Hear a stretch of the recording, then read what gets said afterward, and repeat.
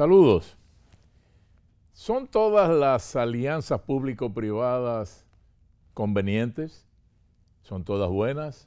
Bueno, algunas sí, algunas reciben el aplauso inmediato de, del, público, pero hay otras eh, que están bajo el bombardeo constante de entendidos y técnicos que la, tienen en cuestionamiento, como es el caso de las mentadas eh, alianzas público-privadas que tienen que ver con el sector eléctrico, con el sistema energético nacional.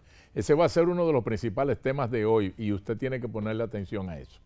Pero también en el programa de hoy estaremos felicitando y hablando de una nueva de Nene Cabrera, de otra vez el edificio de industria y comercio, de dónde se enferman más los turistas, del lío de las juntas en el puente, de la ONU, enemiga de este país, del operativo Limpia Vidrios, de un caso ejemplar de protocolo policial, de quiénes son los que espían, bueno, y de varios temas más. Así que material en cantidad. Comenzamos.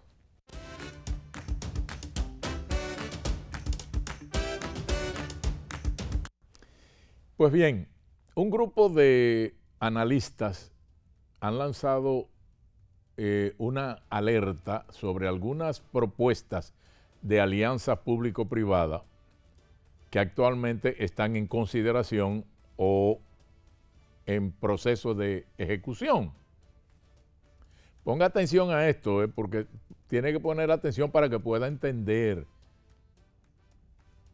Estos analistas comienzan señalando que el propio Consejo Unificado de las EDES, el propio Consejo, está proponiendo una concesión a 33 años al sector privado de la gestión y la inversión en las EDES.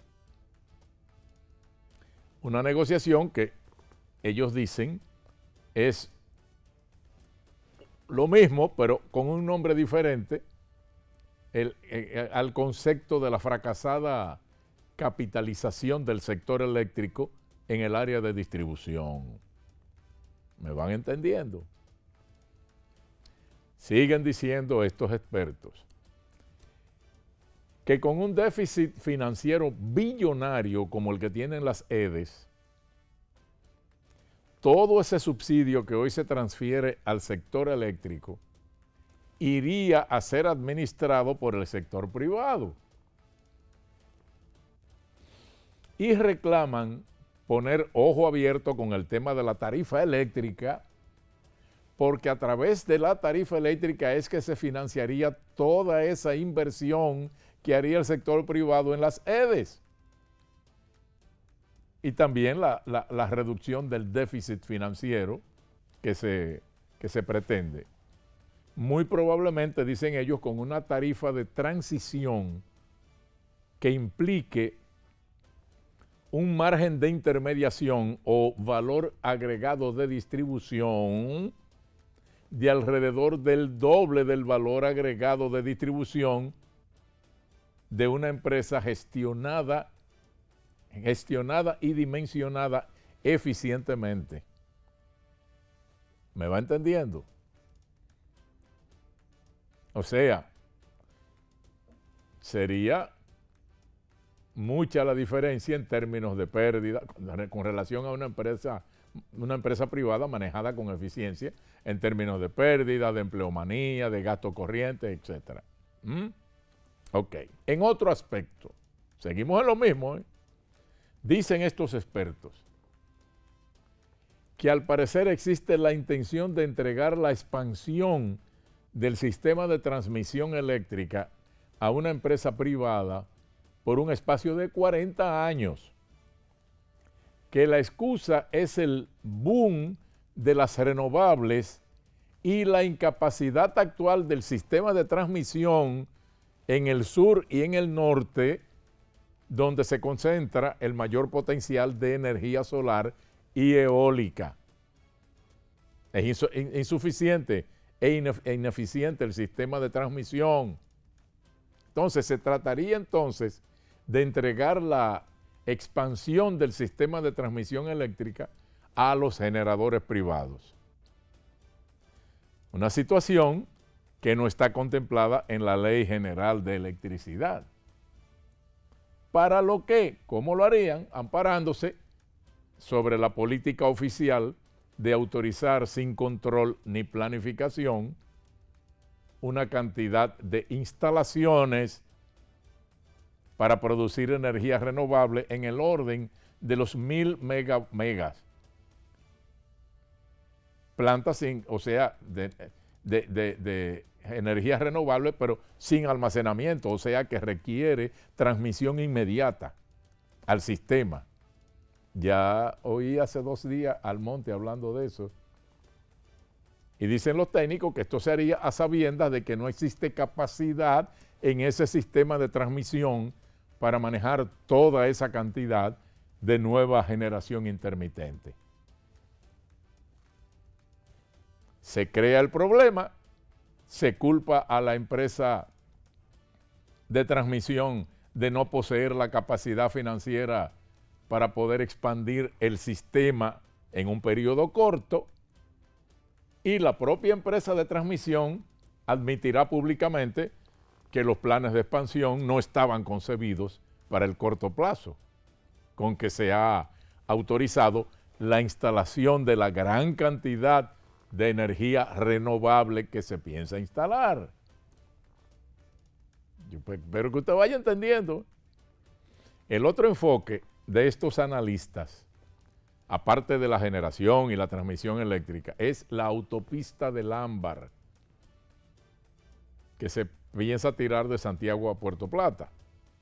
Dicen estos técnicos que a pesar de que la propia Dirección de Alianzas Público-Privadas ha declarado la no viabilidad económica y financiera de esa carretera como para ser atractiva para la inversión privada, se insiste en el proyecto bajo la modalidad de participación privada, utilizando artificios semánticos, económicos y financieros para encubrir el peaje sombra que garantice al sector privado la recuperación de su inversión y la utilidad que esperan. ¿Me va copiando?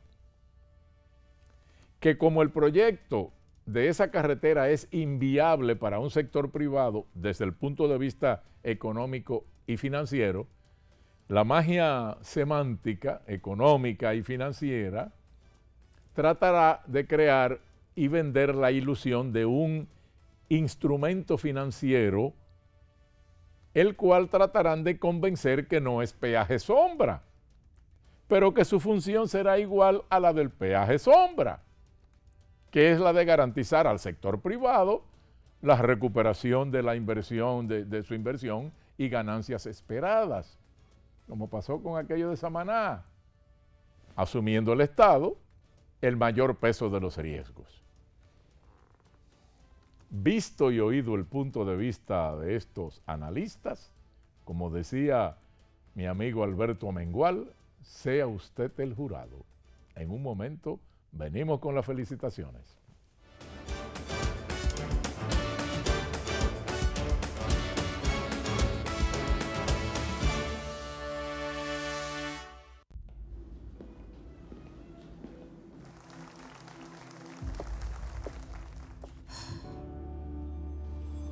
Cuando sea grande, quiero ser fuerte e independiente.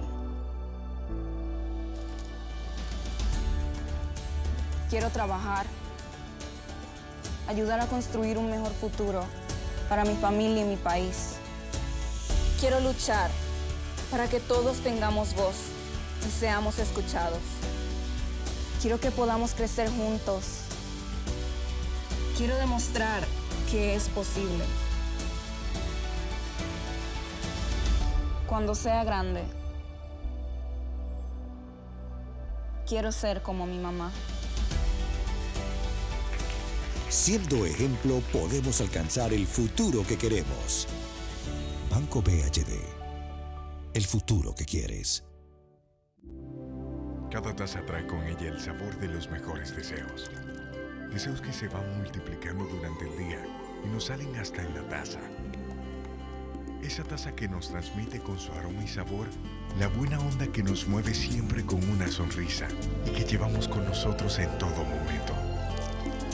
Por eso es que a cada taza de café Santo Domingo siempre le sale ese sabor a lo mejor de lo nuestro.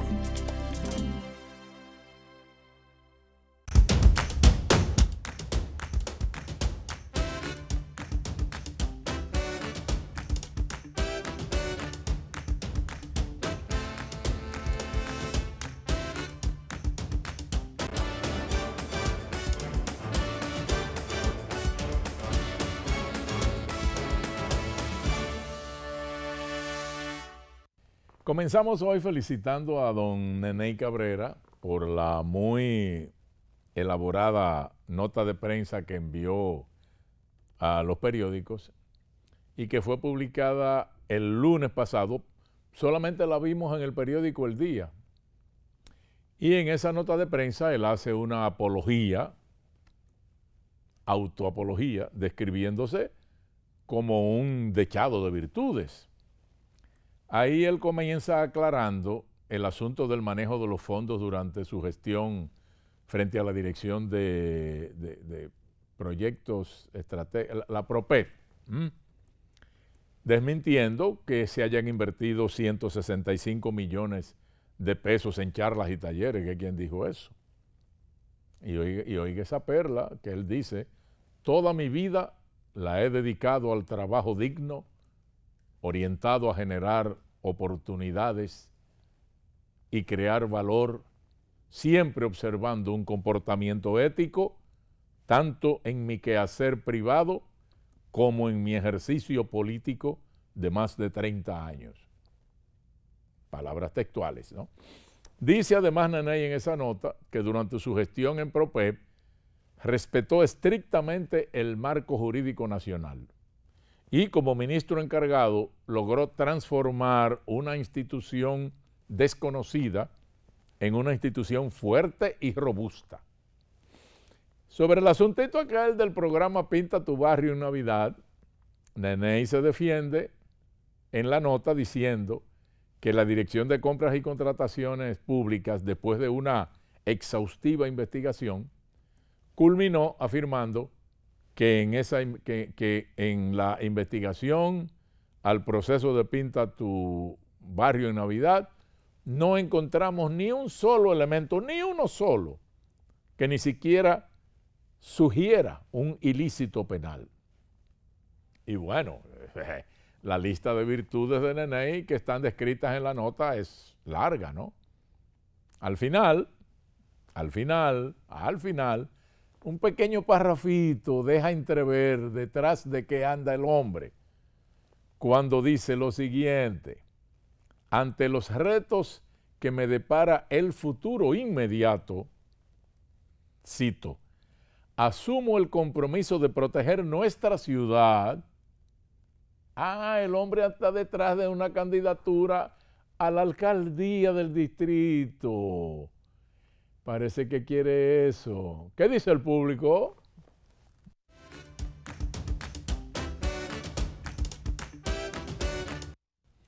Felicitaciones a la empresa Diseño Integral SRL, propiedad del político y exsecretario de Obras Públicas, don Freddy Pérez, porque según una investigación periodística que se ha venido publicando, construyeron el edificio Torre Empresarial Integral con un financiamiento que les otorgó el Banco de Reservas por 661 millones de pesos en el año 2013.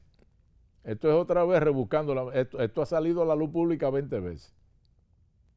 Una vez terminado el edificio lo arrendaron al Ministerio de Industria y Comercio y en el 2016, o sea, tres años después de estar arrendado, el entonces ministro Temístocles Montaz pidió que el Estado comprara el, edificio y efectivamente lo compró por 31 millones de dólares, o sea, unos 1.500 millones de pesos.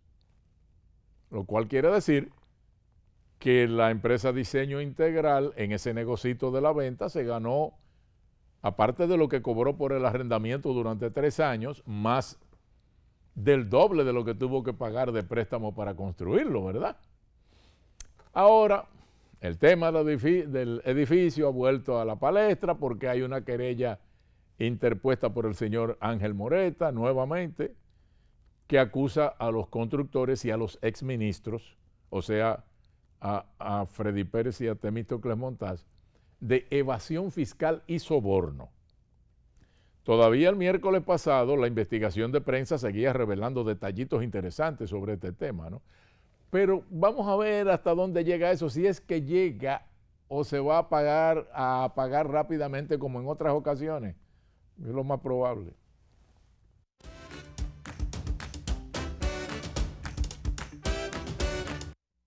Felicitaciones a la revista española Turi News, un medio digital de, amplia circulación en, las redes, y que hizo una reseña citando una encuesta de la revista Forbes, esa sí es pesada, que arrojó, esa encuesta arrojó un, un ranking bastante fatídico para nosotros. En esa encuesta se determinó cuáles son los destinos turísticos donde más se enferman los turistas. Bueno, según ese ranking, el primer lugar lo ocupa Punta Cana con nada menos que un 90.4 puntos. La mayor parte de los turistas que reportaron esa experiencia dicen que enfermaron en ese lugar padeciendo dolores estomacales o alteraciones en el tránsito intestinal. Como resultado, la revista aconseja que para viajar a República Dominicana, lo recomendable es vacunarse contra la hepatitis A o el tétanos. También recomienda tomar algún tipo de medicación preventiva frente a la malaria, porque aunque el riesgo es bajo, se trata de una enfermedad muy grave, dice el texto de la revista. El segundo lugar del mundo lo ocupa con 83.5 puntos el destino egipcio llamado Sharm el Sheikh,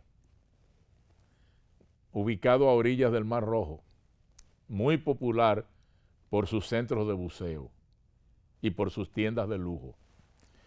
No obstante, muchos visitantes aseguran haber sufrido intoxicación alimentaria en ese lugar también. Mire, yo no sé si lo que dice la revista es cierto, si la investigación es válida, pero lo hizo Forbes y Forbes tiene mucho peso. Pero también puede ser que como Punta Cana está de moda a nivel mundial, muy de moda, y creciendo bárbaramente hasta el, hasta el punto de que en muchos lugares del mundo, usted dice Punta Cana y saben Punta Cana, pero dice Dominican Republic y no saben dónde queda. Quizás por eso están buscando tumbarle popularidad con cosas como esta. Yo no sé, yo no sé, pero todo es posible porque hay un recurso en marketing que se llama publicity, que es tramitar noticias, no como publicidad directa, sino como información para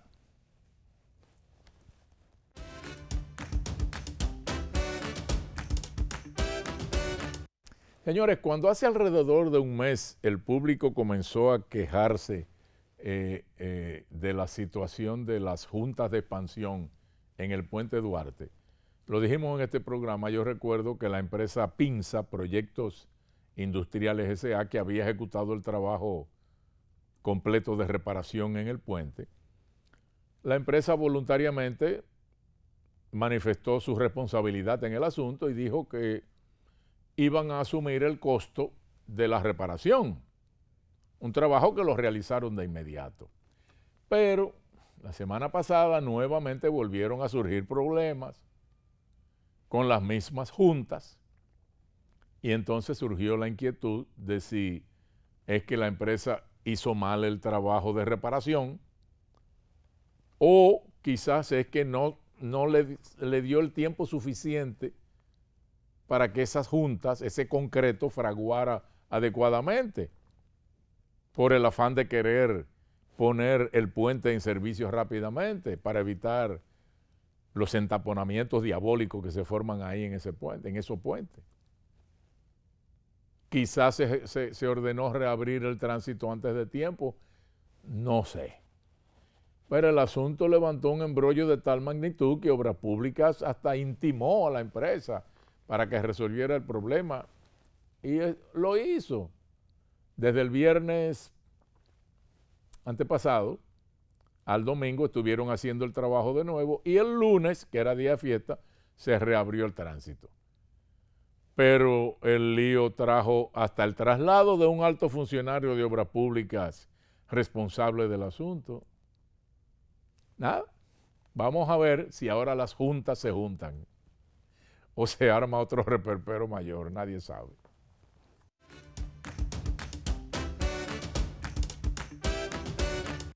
Felicitaciones a la Comisión Técnica para la Reestructuración de la Reforma Educativa de la Policía, porque muy pronto va a iniciar ya el proceso de formación de más de 3.500 nuevos agentes policiales, que se dice son necesarios para fortalecer la seguridad ciudadana.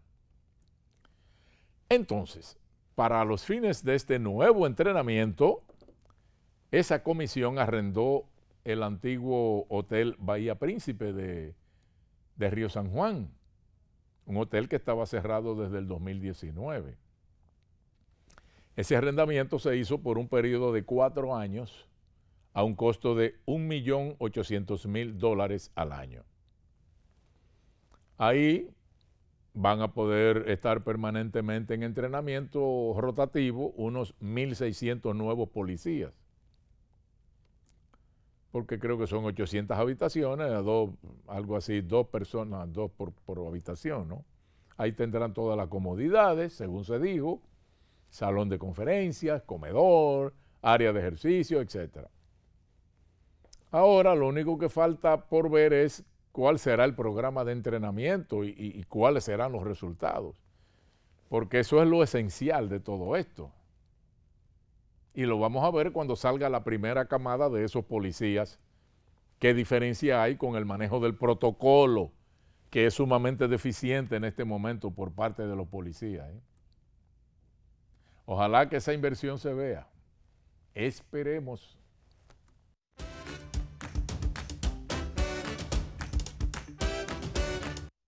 Felicitaciones a la ONU porque, óigame, justamente tres días después de que nuestro canciller fuera a, la sede de la ONU para volver a lanzar el mismo grito de urgente intervención en Haití, cosa que también es un reclamo del mismo gobierno haitiano que está a punto de irse de cabeza, porque ya 80% de, de Puerto Príncipe lo dominan las bandas a los tres días del canciller de, ir ahora recientemente nuevamente, lo que viene de allá para acá es un reclamo del Comité de la ONU para la eliminación de la discriminación racial, pidiendo a los países de América que pongan fin a las deportaciones de migrantes haitianos. Después de que, según ese comité, 36 mil de esos haitianos fueran devueltos a la fuerza a su país entre enero y marzo, muchos de ellos, añaden, coletilla, venenosa, punzante, muchos de ellos desde la vecina República Dominicana. Miren la cachaza de esa ineficiente organización. ¿eh? Venir con una petición así como respuesta al caos que se vive en Haití y que de alguna manera estamos padeciendo aquí y le pusieron de ñapa a la petición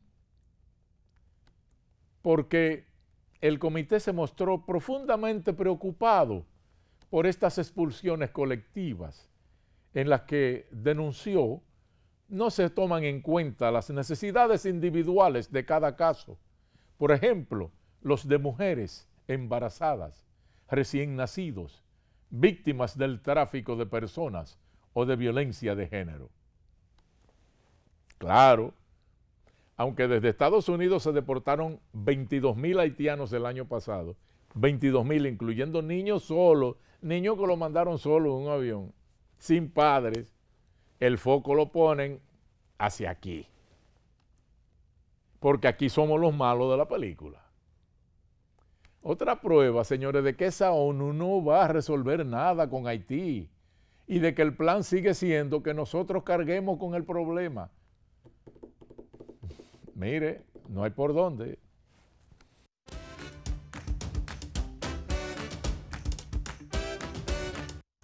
Felicitaciones al Ayuntamiento del Distrito y al Ministerio Público por el operativo que realizaron el domingo pasado en varios puntos claves de la, eh, de, la capital. Para retirar de las calles, en esta ocasión retiraron a 22 limpiavidrios, algo que ocurrió porque, no, no porque fuera un plan programado por esas instituciones, sino porque ese día un reportero gráfico de un canal de televisión fue agredido por un limpiavidrios en la Kennedy con, con Máximo Gómez que le dio una pedrada en la cabeza y también lo amenazó con un cuchillo. O sea que el asunto pudo haber sido peor. Ah, pero eso comenzó a publicarse como era un camarógrafo de televisión, mucha prensa, y gracias a esa pedrada se hizo el operativo donde retiraron a 22 limpiavidrios, mayormente de la Kennedy con, con varias esquinas. Como de costumbre, la acción trajo la reacción cuando debería ser al revés, que la prevención evite la violación. Llevaron a los limpiavidrios al cuartel del el destacamento de Naco, yo no sé si para dejarlo preso o para qué, pero la verdad es que lo que amerita el caso no es eso, sino estudiar el fenómeno y tratar de reubicar a esa gente en, un sector productivo ya sea estudiantil, ya sea de trabajo, yo no sé.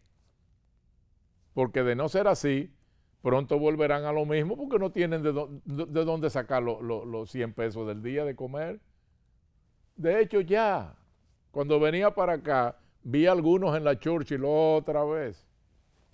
Lo mismo, eh, reacción por acción, sin prevención. En un momento volvemos, no se vaya.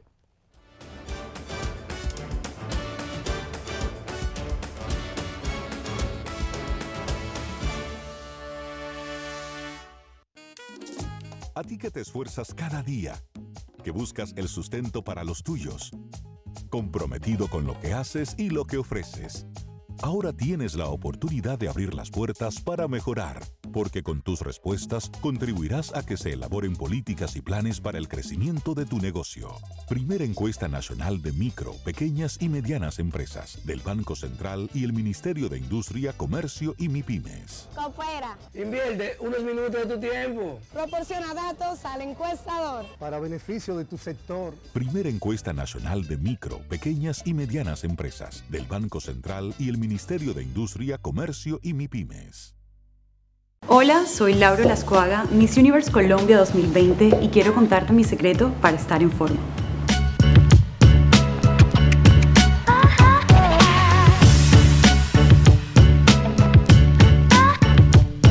Forma tu cuerpo es mi secreto para estar en forma.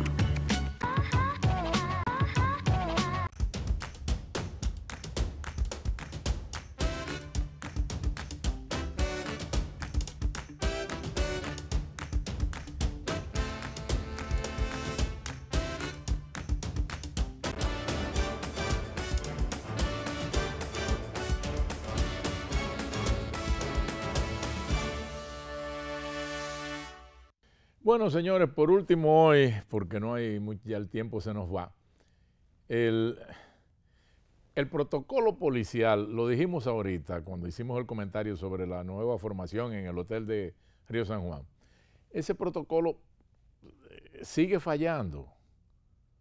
En el caso del vigilante este de Bonao, que después de haber asesinado a dos, caminó por las calles con cuchillo en mano y la policía lo vio y se vio el video, lo siguió, pero no lo detuvo. Y después el hombre siguió caminando, fue y mató a otra persona. Pero ahora ocurrió en Comendador de Elías Piña.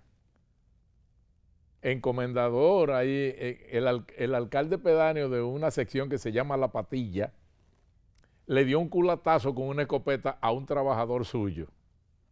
Bueno, lo arrestaron, lo encerraron en el cuartel de la policía, pero ¿qué ocurrió? Ah, que la policía, como se trataba de nada menos que del alcalde pedáneo, le permitió ir a dormir a su casa. Sí, hombre, váyase.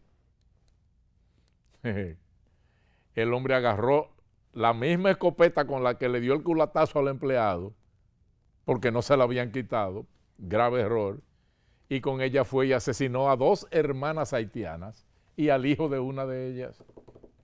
Y además eh, hirió a otras dos personas y de ñapa cogió y mató 10 chivos. Entonces, trate de entender eso y, y, usted no va a poder porque se le queman los fusibles. Lo agarran por darle un culatazo con una escopeta a un empleado y no le quitan la escopeta. Lo dejan ir a su casa y con esa arma el hombre acabó a medio lugar. Pues yo le digo que a cualquiera se le funde un fusible tratando de entenderlo. Pero nada. Esta película terminó con lo que parece fue el suicidio del alcalde que apareció por ahí tirado muerto. Señores, muchas gracias y hasta la próxima.